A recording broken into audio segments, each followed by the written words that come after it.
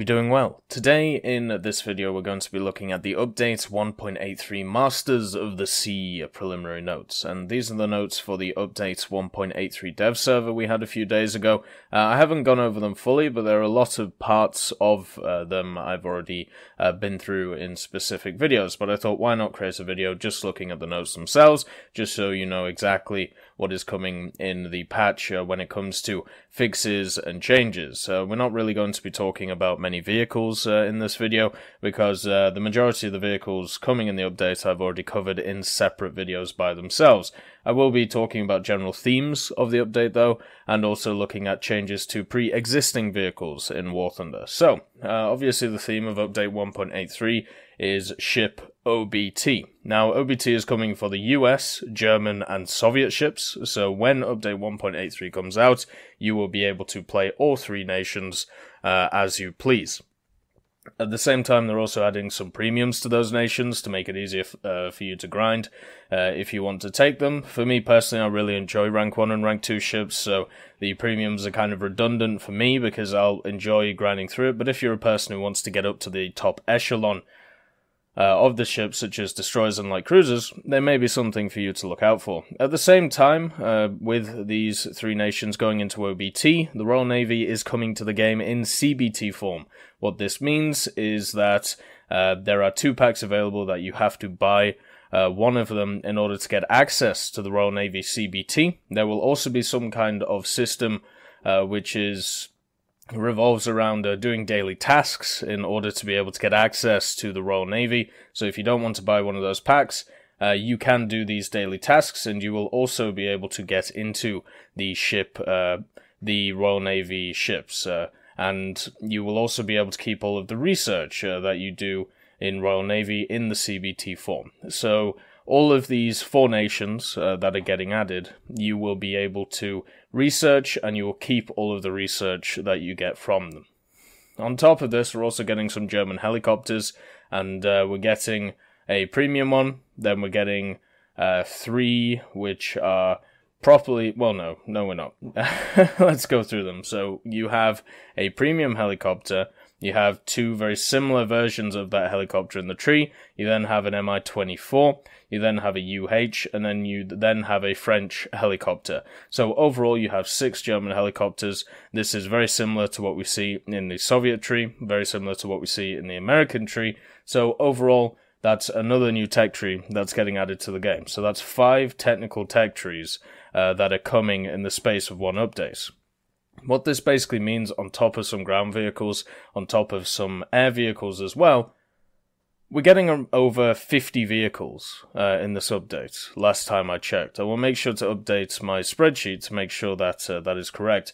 But when I counted, it's an insane amount of stuff. A lot of people in the last update said that there was I don't know what Bernard's doing. I apologize if you hear that. But anyway, in um, uh, last update, we got a lot of rank 6 stuff, and uh, uh, a lot of players, including me, were kind of disappointed by this, because obviously, grinding it out 380,000, 390,000 RP is not something that is very easy to do. On top of this, uh, there was a lot of vehicles which were seen as uh, redundant or at least not fitting a lot of people's playstyles. You know, the TAM, the Warrior, even the BMP2. Not many people, or at least the uh, a smaller majority of the community, enjoy these uh, vehicles. Like I am part of, uh, you know, that part of the community. But a lot of people want to see good meta vehicles. They want to see machines which are going to be competitive and uh, update 1.81 brought a lot of them at top tier, but nothing anywhere else. What we're seeing in this update is much more of a focus on vehicles which are going to be all tiers, uh, since all the ships are rank 1 to 4, and also some other vehicles uh, to help with that. So, overall, for me, this update is looking a hell of a lot better just on the face of things than update 1.81. But it does heavily rely on if you enjoy ships or not, because obviously the majority of the content is going to be ships. So, uh, let's have a look at uh, this. Uh, uh, let's have a look at these preliminary notes. So, first of all, you have all the vehicles. Uh, obviously, the naval fleet, the USA, Germany, and Soviet lines, the helicopters for the Germans, the ground vehicles, uh, the T-32E1, Su-57B, and then the Type 75 MLRS and the T-80B. For the aircraft, you have two updated Wildcats, a Ju-288C, and an MB-175T. So there is a little bit uh, here. I'm incredibly surprised with all of the other tech trees to have some ground vehicles and some aircraft is like a very nice added bonus to all of this. And also, I'm sure in the uh, coming months, we should also have some events which have some special vehicles. So that to me uh, is looking great. I pretty much covered all of these vehicles. Uh, there are a few which I didn't cover, mainly ships. I also didn't really have a look at the F4Fs uh, because they're just updated models, and I also didn't do a full video by itself on the T80B. So uh, the T80B, the armor package that it's getting, because it is just an up, uh, it's just a modification that's being added. You know how the T64 uh, B it goes to the BV with the uh, added ERA on top of it. Well, that's what happens to the T80B. It's getting Kontakt 1 armor, which is exactly the same as the armor that you see on the T64B. So it's going to be good against heat, it's going to be good at uh, bouncing or absorbing some shells, and uh, with that said, it gets a little bit of increased protection. It also increases weight though, so we're going to have to see how that uh, ties into everything. Overall, what we have uh, from the T80B is uh, a very small upgrade to what it already has. Will it make a massive difference? I mean, when you look at the matter of what people are slinging about, not particularly. Um, but it'll be good against vehicles which aren't fully upgraded. Uh, against vehicles that are fully upgraded, it will still have the same issues that it has today. Uh, on top of this, we also had two new locations. Uh, so we have the Black Sea ports, and then the increased uh, detailization of the naval location Green Mountains Gulf. Both of these maps I had a look at on the dev server. Uh, they look pretty bog standard. The main issue is that the smaller ships do not have control of two of the points. Uh, the larger ships have control of two of the uh, two of the points. So, with that said, you have a scenario where you are very much burdened towards what the larger ships are going to do. So, uh, it's definitely a two higher tier maps and if you're in a smaller ship, you still have the same issues as uh, as before. You also now can get naval missions in custom battles. This is a really nice change. Uh, the reason this is a nice change is because before you had to create user missions or you had to try and uh, try and um, get everybody into a single battle in the events tab. Uh, now you can just play custom missions and custom battles uh, with people in the naval uh, in the naval part of it. This means that uh, it would be great for me for intros, for cinematics and stuff like that. And for the average person, it means that you can have a little bit of uh, fun. Maybe uh, test some vehicles and see how good they are against others. You know, get some mates around and have a bit of fun. So, it's time to have a look at the ground vehicle model, damage model characteristic, and weaponry changes. So the first one, the Su-51, M4A176W, M4A276W, and Flak Panzer 1 Gepard, the order of ammunition usage has been refined. So this will mean where it picks up ammo uh, from initially will be different to uh, what it had before. The Churchill Mark III, and then the Panzerkampfwagen Churchill, which is a captured Churchill Mark III in the German tree, are premium. The armor on the right side of the turret has been changed from 76.2 to 88.9, and the armor on the left side of the turret is 76.2 millimeters. So if you, so if you're going to angle against a target, make sure to try and use that right side of the turret instead of the left side of the turret, which is uh, kind of interesting. The Churchill Mark III generally, uh, its armor isn't uh, that good. The only Churchill that has armor which really stands up is the Mark VII.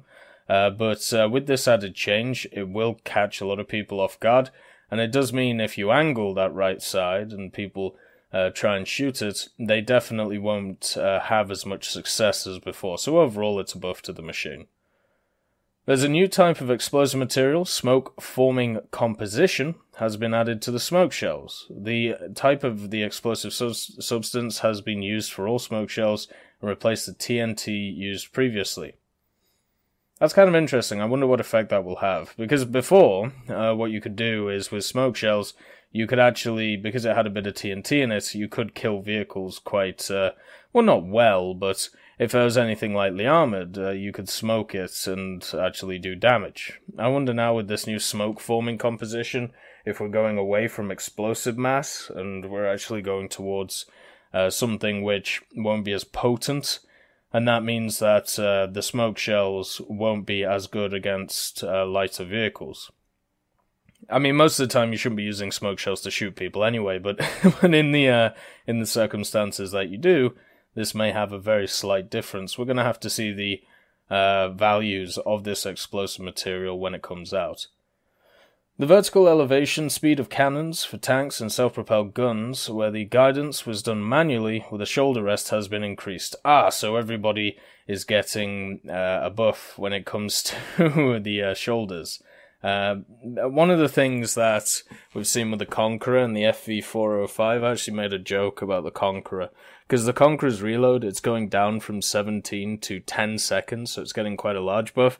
And I said, "Oh, uh, Gaijin have finally realized British loaders have two arms," and it's true because a lot of the time when it comes to these changes in reload, it it it does come down to the subjective view of how much should a loader be able to load, like how quick should it be able to load. Now we're seeing with the shoulder rest thing, it's been increased and uh, the elevation speed. And once again, this is kind of a subjective thing. You know, how good are you at moving something manually? This is going to differ from person to person. You're going to have a standard uh, that somebody should comply by. But when we're talking about maximum efficiency, how good is it going to be? So for cannons up to calibers of 40 millimeters, 15 degrees per second, and for cannons of calibers between 40 and 57 millimeters, 10 degrees per second. Okay, so uh, that's a lot better than it was before. This means that the majority of the machines, uh, when it comes to either AA or SPGs, they're going to get their guns on target a lot faster, and uh, hopefully they'll have a little bit less wobble. And uh, overall, this will make uh, quite a large difference uh, to the stability of guns and also the quickness in order of you getting your gun on target. It looks like it's mainly affecting uh, medium tanks and light tanks, though, of the lower ranks, uh, which makes sense because those are the ones which mainly have shoulder rests or manually. Um, when the guidance was done manually with shoulder rests. So we have a bunch of rank 1 British vehicles, rank 1 Japanese, rank 1 French, and then rank 1 German. So this will change uh, slightly some of those vehicles, making them a little bit improved. The Flak Panzer 341, the name of the Flak Panzer 5 has been corrected to Coelian. Well, it doesn't say to Coelian, but it does say corrected Coelian. My guess is the reason why they changed the Flak Panzer, or sorry, the Coelian to the Flak Panzer 341, I have no idea why, they just did and it looks like they're changing it back. Uh, if I'm reading that wrong, I apologize. The Marder 3H, uh, the values of the angles of, uh, for elevation and traverse speed have been specified. So this is for the Marder 3H. The Marder line of tank destroyers is actually pretty good. And the reason for this is because they've got good maneuverability, uh, it's quite hard to one-shot them until unless you hit them center mass, and they all have a really good gun on it with a really good ammunition. The ammunition really makes uh, makes these machines great because when you penetrate a target, you know you're going to do a lot of damage to it, and that is something that some tank destroyers definitely struggle with. Like the SU-122, uh, it's quite hard to pen, and when you do pen with something like the Heat, then you're not always going to do a lot of damage. With the Marder 3H, with its gun, when you pen with it's either APHE or APCBC, you know you're going to pen and clatter whatever is inside. The elevation is going from negative 2 plus 22 to negative 9 plus 9. Now, a lot of people may see this as a nerf. Uh, for me personally, I see this as a buff. And the reason for this is because it means that the majority of the time, where you're going to be using your gun depression over slight hills or over uh, little areas, you're going to be able to use that to great effect now. Generally, 10 degrees of gun depression is what we look for as a really good, you know, good set for gun depression. 9 degrees is pretty, pretty close to that, and it means that you'll be able to set up in positions looking down roads and things a lot easier. when it comes to the elevation, I mean, uh, it just means that fighting up hills, no, sorry, fighting down hills is going to be a little bit harder, but still 9 degrees is completely fine. You won't be able to shoot aircraft out, out of the air, but uh, generally, if aircraft are flying around, the Marder 3s are struggling anyway because of their open top nature. The Traverse is going down by 2, so it's going from minus 30 to plus, uh, sorry, it's going from minus 30 plus 30 to minus 28 plus 28. So it's losing 2 degrees either way. Uh, this is slightly annoying, especially for the Marder 3H, because it does have a really good angle that you can set at around corners. Uh, I do see this as kind of annoying. Uh, I it, it's going to have to say. I mean, it's four degrees overall, so it's not a massive thing, and I think uh, taking the gun depression and losing four on the traverse, I'm happy with that. If uh, we didn't gain anything on the elevation, then yeah, it wouldn't be very nice. But uh, it can be, it can, it can be done. Uh, it's still a very good vehicle. The M247, uh, the bug where no lead marker was displayed whilst firing at aircraft has been fixed. All brake effect bug on the chassis has been fixed. Wonderful. So the M247 came out in update 1.81. One of the interesting things was that it released with no radar guided AA, and uh, this was obviously seen by a lot of people as annoying because in real life it did have it. A lot of people then bring up the fact that on certain tests, uh, let's just say it wasn't exactly uh, admirable uh, for what it was supposed to do, but it still did have it in real life. It still had the system, and if we uh, decided to try and uh, judge every vehicle by screwing up in tests, a lot of vehicles in War Thunder would not even be in the game, or they would not be able to take off, or they would not be able to move, or their gun would uh, break the whole thing. So yeah, there's um, there, there, yeah. I, I think having a little bit of lenience in this is completely fine. Also, the hull break effect bug, you gotta remember the M247 is on a medium tank chassis, very much similar to something like the Chieftain Marksman. So for the hull to be subject to hull break doesn't really make a lot of sense. The turret can at least be a, a question, you know, you can debate it, but the chassis, no. Otherwise, you would have to have stuff like the M48 and the M60, they should also be hull broken, which is kind of ridiculous. The IS-2, a bug when you could separately control coaxial MG has been fixed, so I'm guessing you can't control them anymore. That's very sad. Uh, the 120mm DM13 round mass has been increased from 3 to 4.4 kilos.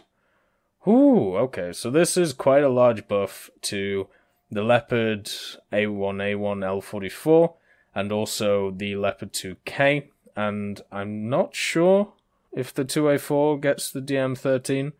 Uh, but even though those two vehicles that I noted before, this is a decent buff. This means when you penetrate, you're going to do a lot more post penetration damage. Now, generally, that gun is already very good, so adding this to it just makes it better, and that is completely fine. Uh, so, uh, we will see a lot more one shots, but you're still going to have to place your targets, uh, place your shots pretty well.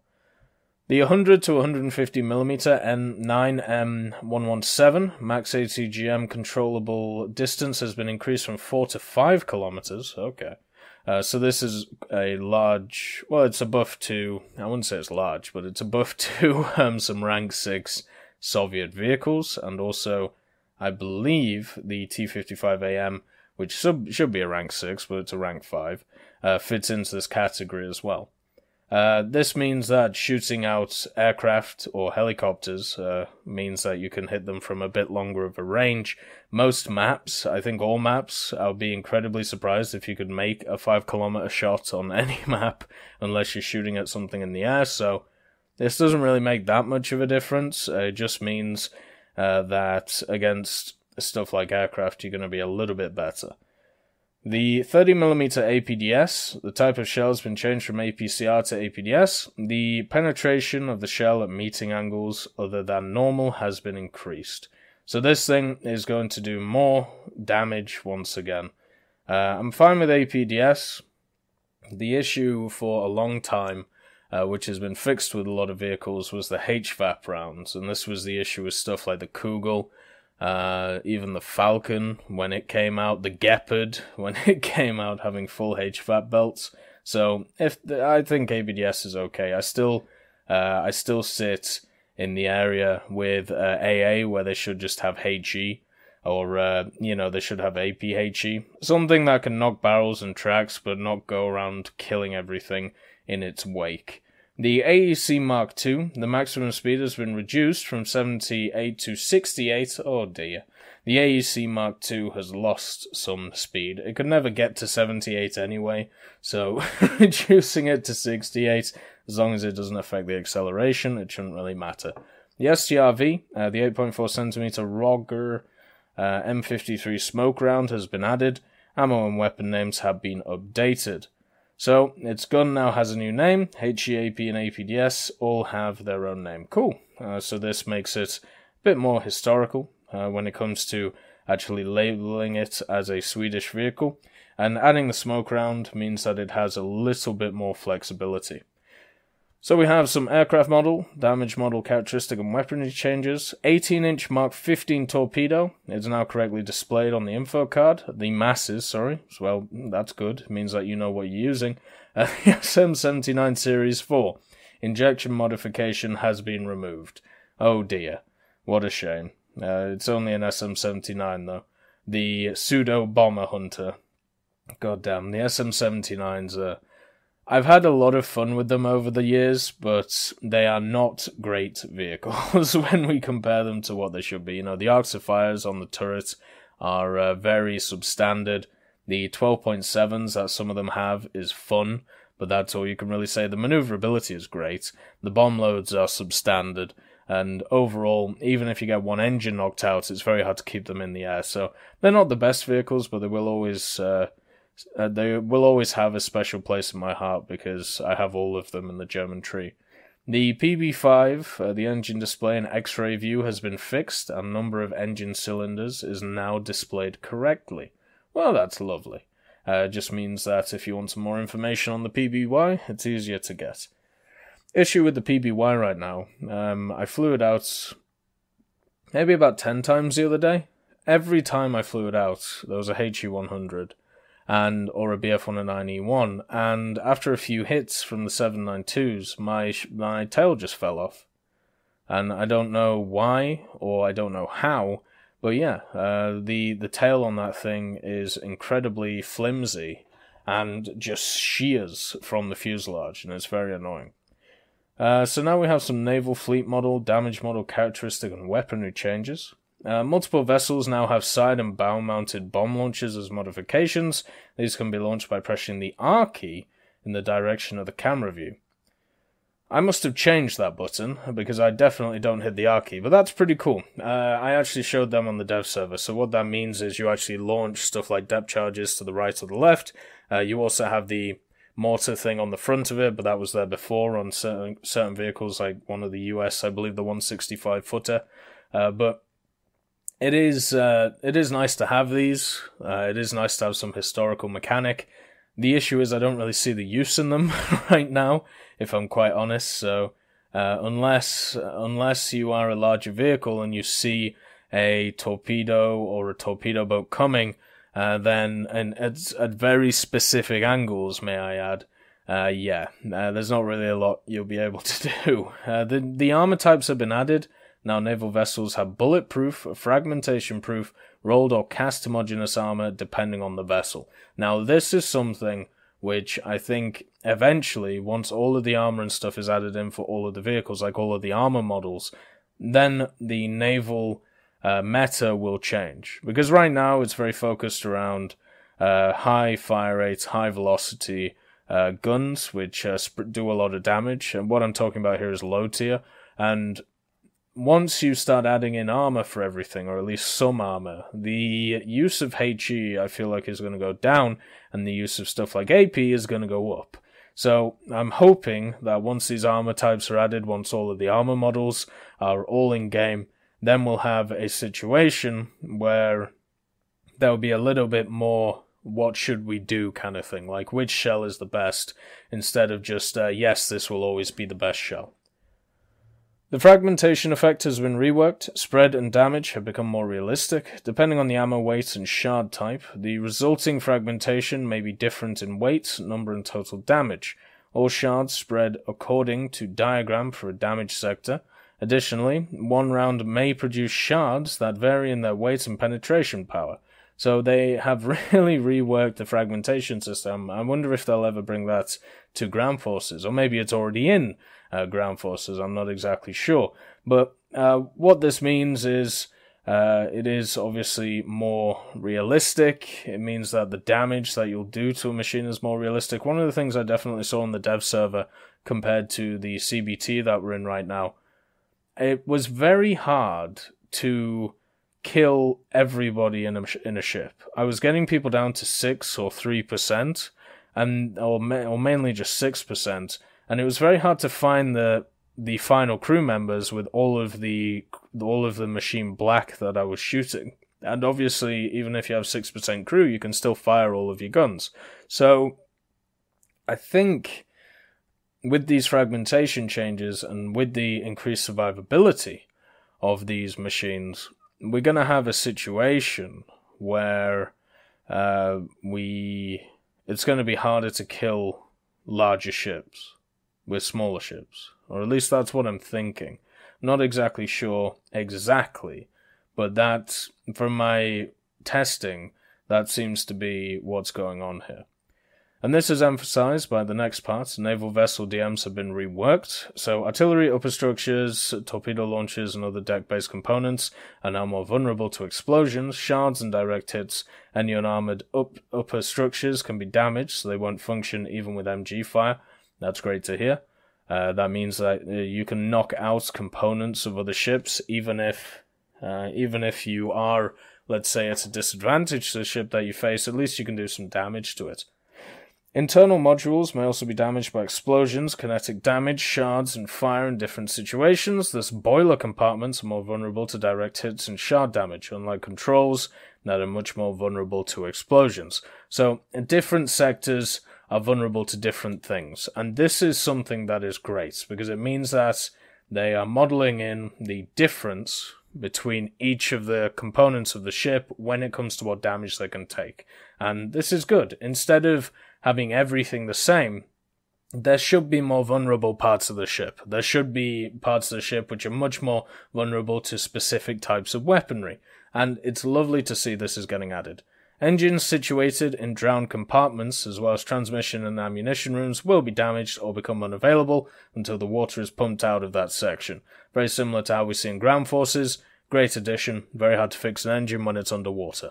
Uh, fragmentation proof blankets or screens, whilst whole will prevent shards from penetrating dependent on the blanket's thickness and the damage power of the fragments.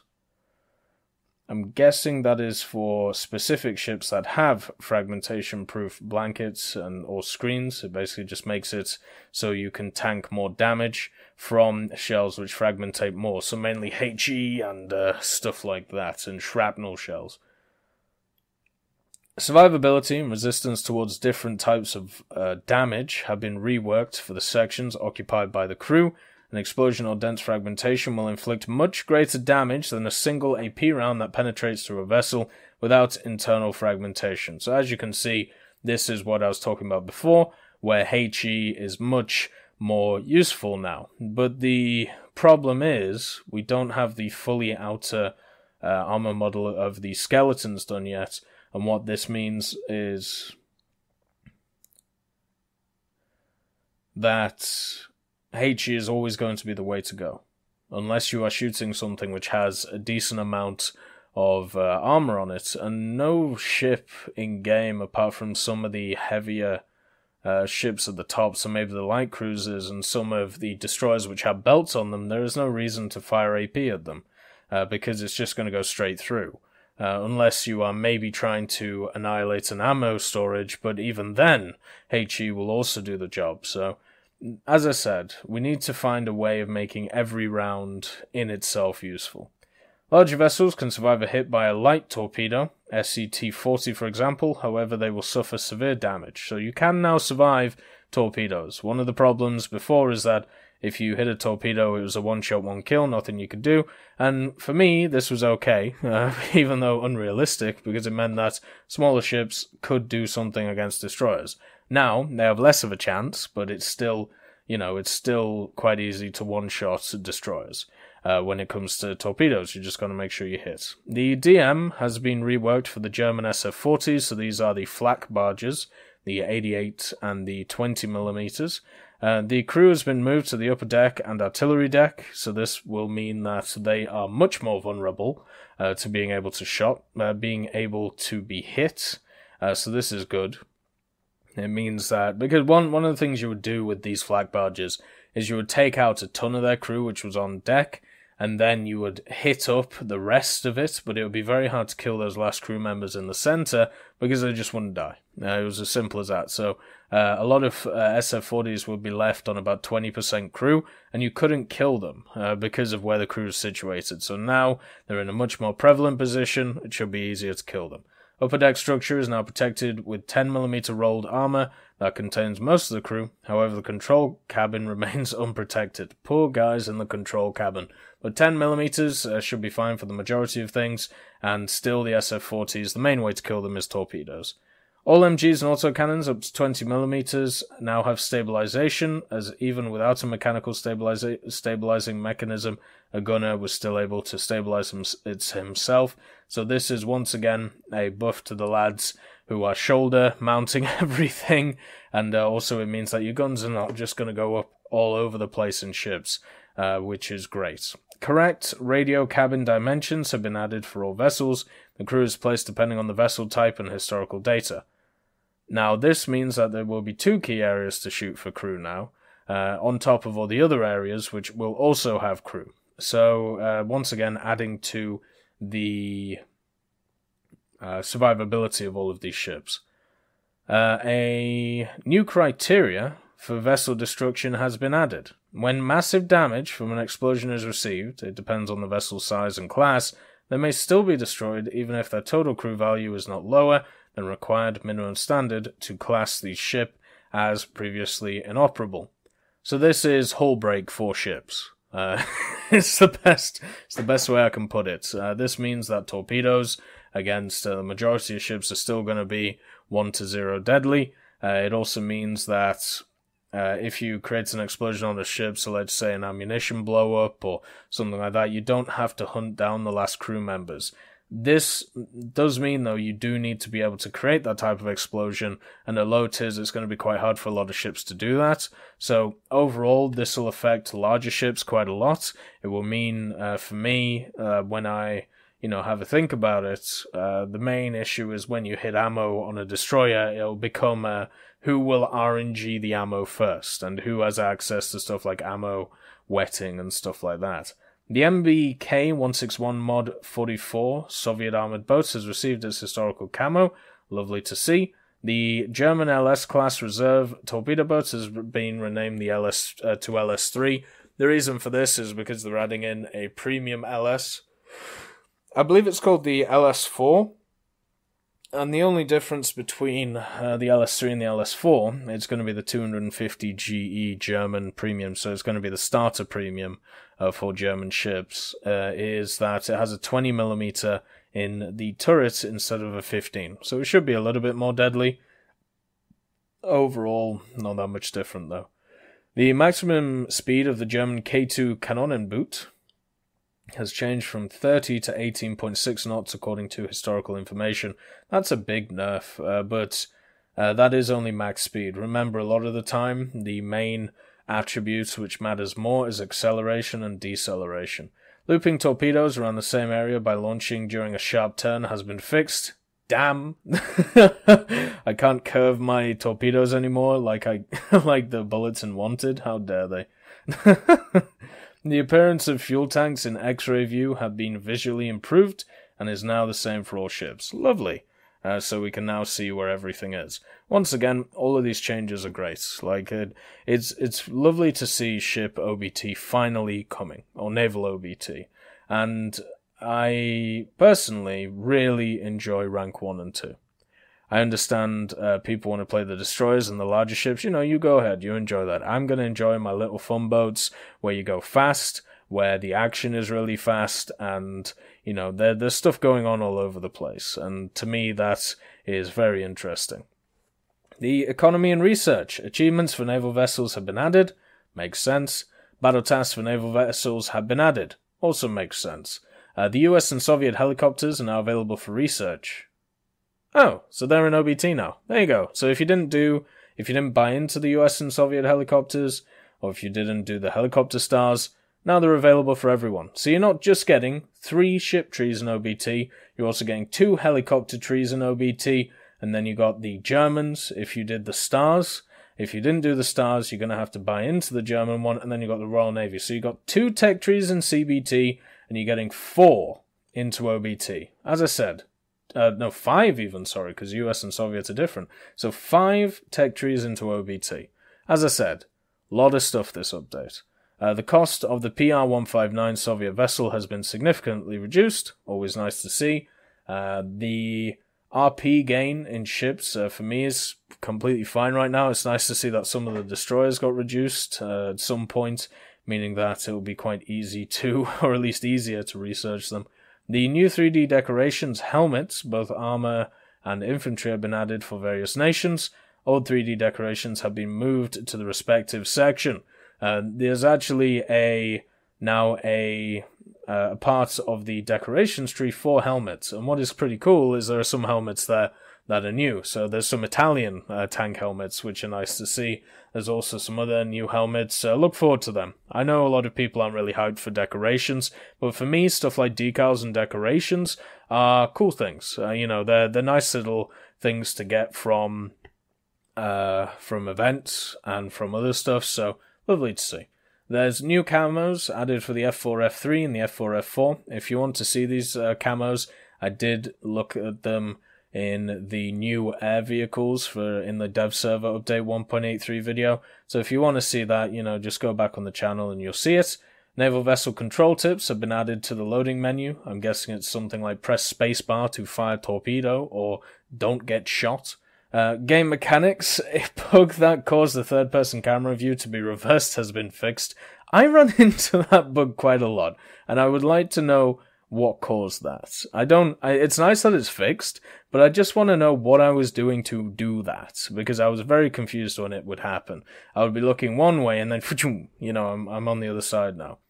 A bug where the camera focused on the rear end of a naval vessel at the end of a battle has been fixed.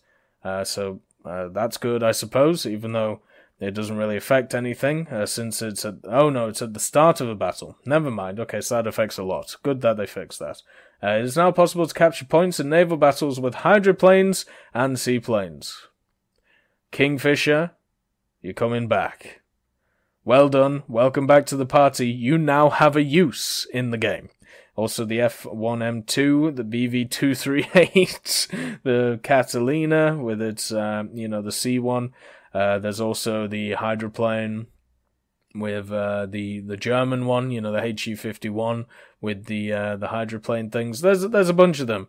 Uh, just like how helicopters can now capture points, you too have this mechanic that you will never use because you will never get anywhere close to it. Because guess what? Ground and sea vehicles exist, and they'll annihilate you. How wonderful! Anyway, there's some sound changes as well. Sounds for new helicopters has been added, and small changes to optimize the usage of the sound game resources. So hopefully there isn't too many changes in the sound, so we can still get those wonderful sound mods working. Uh, the one, the sound mods that people create for War Thunder have been very fun uh, over the years, and I hope they continue. So overall, as you can see, a lot of changes, mainly to naval stuff, because it is the update for naval. It is the Naval OBT. It's the big one. It's been what we've been waiting for for a few years. Hopefully, a lot of people play it. I know for a fact I'm going to. And there's also some changes to a lot of other vehicles and stuff as well. Overall, very positive. There are not many changes here that I would say are unnecessary or are bad changes. Uh, I am kind of annoyed about the Marder one, but as long as it's historical, completely fine with it. So overall, I hope you enjoyed this video and I'll see you next time.